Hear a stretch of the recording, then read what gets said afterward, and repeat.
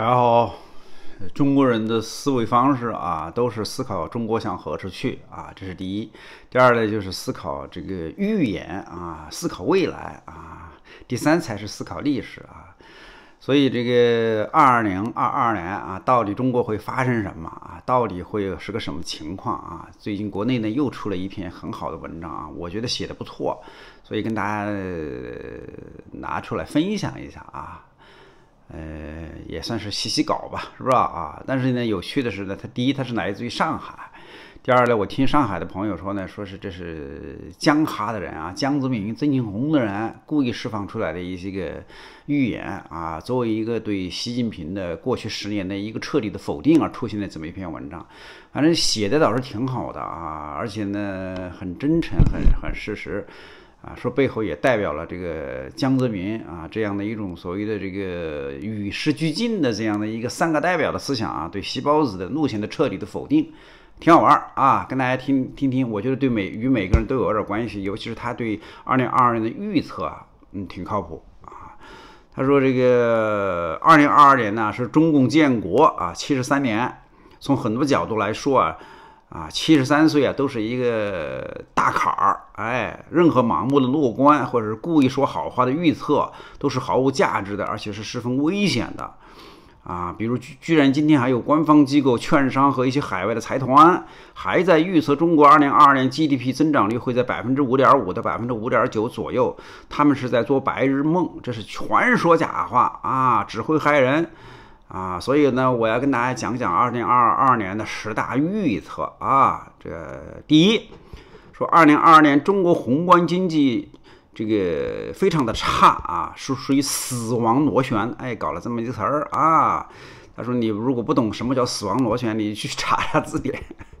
很多人抱着很大的期望的所谓货币大放水，实际上已经无用了，边际效用啊，已经越来越。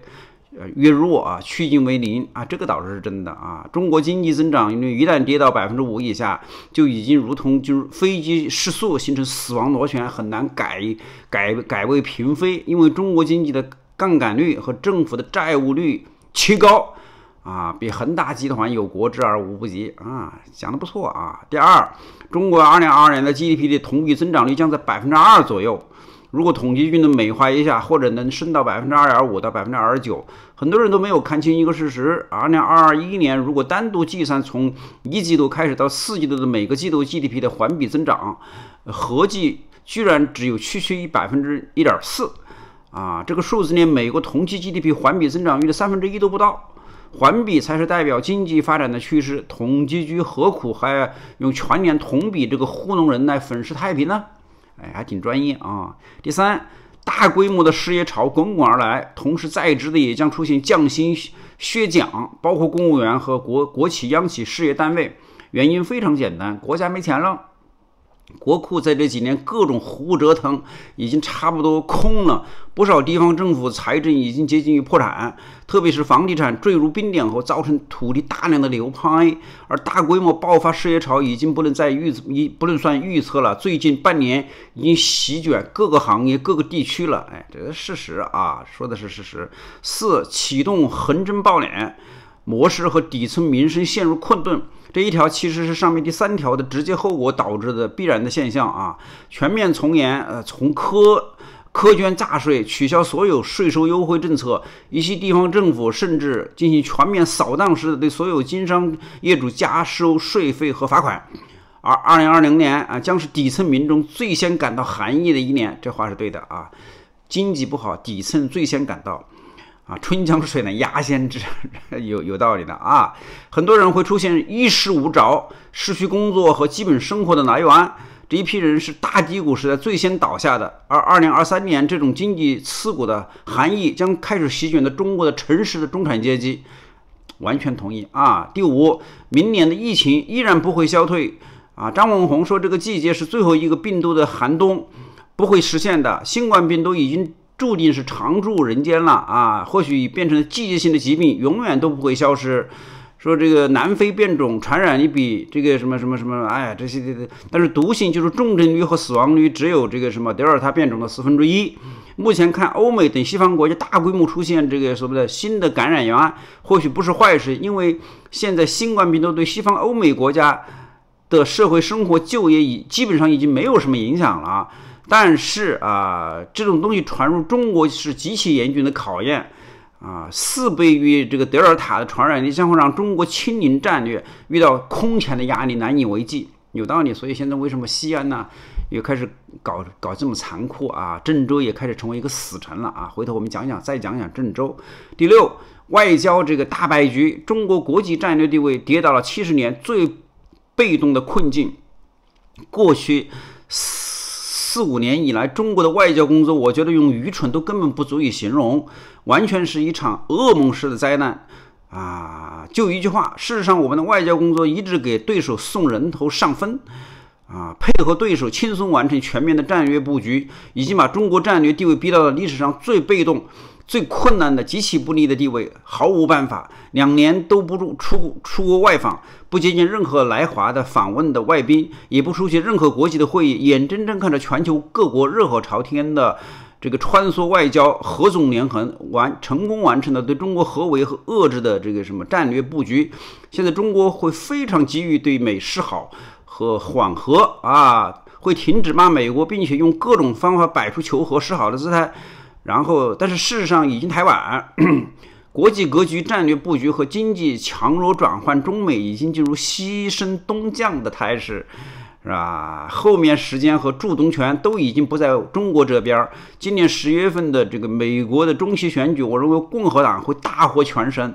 而二零二四年，我肯定美国新一任总统一定是共和党的候选人，是川普路线的继承者。中美关系已经不会不可能好起来了。哎，听懂啊？等于把西包子的所谓的外交思想完全拍死了啊！第七，债务危机爆雷和通货膨胀飞天了。二零二二年，事实上才才是全面债务危机爆发的序幕之年啊！去年的恒大等大批地产的一系列的债务无法偿还，啊，才真是开胃菜。事实上啊，目前都没有一个得到解决啊，国家无心无力去救助。而我判断，今年七月前后才是债务连环雷进入多米诺骨牌崩塌阶段啊！届时啊，恐怕连国际上很多政府的财团都要受影响，对中国经济的国际形象更是严重的打击啊！而今年七月份之后，民众的生活必须包括日用品和食物啊，也再也顶不住啊 PPI 长期高企的成本压力，不可能长期维持 PPI 和 CPI 巨大的剪刀差。二零二二年将是通胀向居民消费传导，造成物价大幅上涨的这个元年。哎呦喂，讲得好啊！第八。二零二二年，中国人口出生总数跌到八百万啊，人口出生率成为全球最低国家之一。在过去的二零二一年，我研判啊，是人口出生总量已经跌到了九百八十万左右，首次低于当年去世的人数。也就是说啊，从二零二一年开始，中国出现了数百年以来首次人口的负增长。目前已有十十四个省份公布了二零二零年出生率的数据，其中居然十个省是低于百分之一。中国人口急速陷入超级老龄化和长期负增长啊，可以说从根本上对中国经济发展潜力的一个釜底抽薪，这是肯定的啊。共产党一直都是做的是断子绝孙的买卖啊。第九，中国的 A 股和房地产的二零二零年的走势分析啊，过去的二零二一年，港股指数成为全球最差的股市，倒数第一啊。其中呢，也由内地上市科技网络大蓝筹公司恒生指数倒是更是一场。股基股灾级别的暴跌，那是就是 A 股的沪深两市指数，如果放到全球各个国家的主要的指数比较，也是全球败倒倒数第四或者第五。啊，在去年全球都是超级大牛市的背景下，但凡是中国资产概念相关的，成为最大的这个这个败笔啊！做中概股的所有的投资者，去年都是亏到血流成河。啊，这是真的，我们做过这样的节目的啊。今年的 A 股已经进入三二节的状态，一直靠所谓预期货币大放水、宽松政策，虽然摇摇欲坠，但是还还不死心。但今年恐怕是一个幻想的破灭之年，A 股很大概率再现二零一八年走势。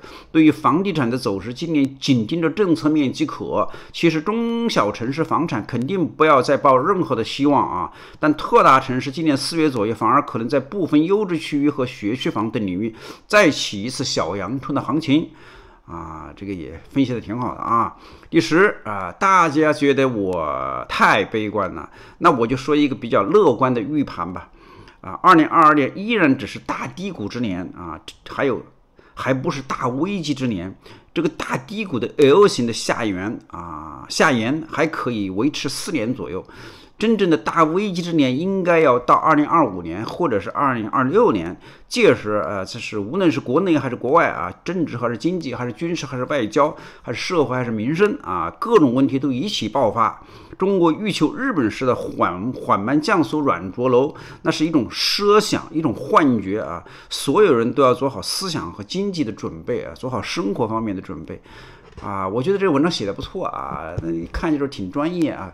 呃，应该我个人预判啊，我是同意这个上海这边的这个市井的说法的啊，应该不是一个人写出来的，应该是一个团队写出来的。所以有人说是江泽民的智囊团，它里面最大的一个特点呢，就是把把习近平过去的是政治、经济、社会、外交、军事没写军事啊，外交全部给拍死了。所所以我说我的标题看到了啊，是对江是对习近平过去十年执政的一个彻底的否定。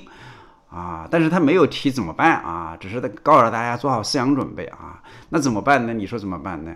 啊，中国的这个国家呢，毕竟它这么是一个大的国家啊。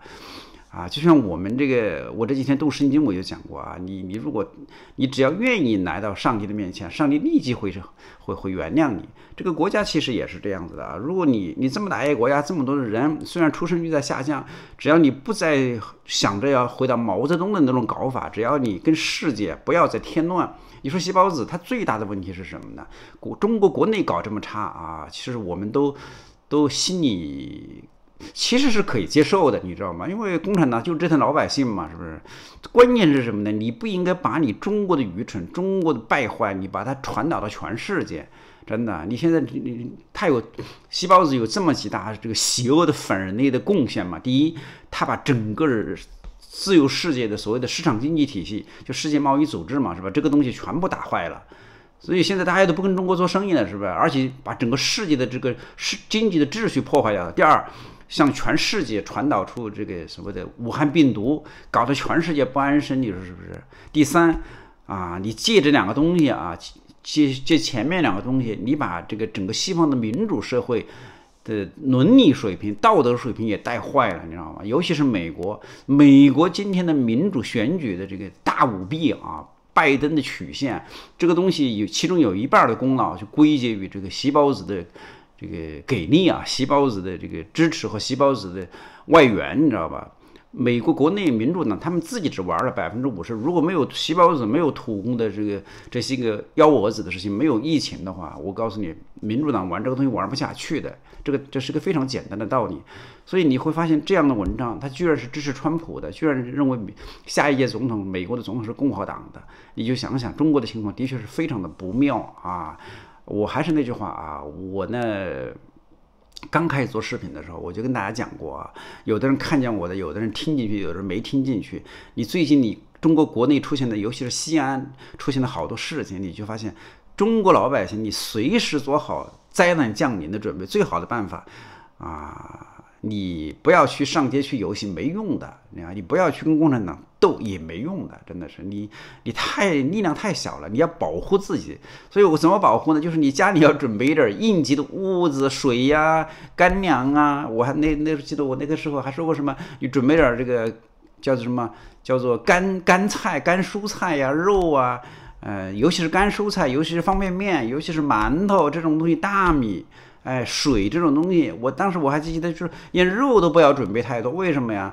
因为你除非你准备腊肉可以，准备准备这个什么什么什么什么，那种肉干儿可以，为什么？因为工厂它可以停你的电，一停电，你的冰箱没电了，你的里面放再多的肉也烂掉了，你吃不完的话，真的你要做好准备。你现在西安的人、郑州的人，很多人一一被封锁没几天呐，一个星期都不到的，你就有的人就喊快要饿死了，是不是？大家做好准备，真的。风暴比你想象的还要大，我认为比他所描述的还要大，真的，大家做好准备，谢谢大家。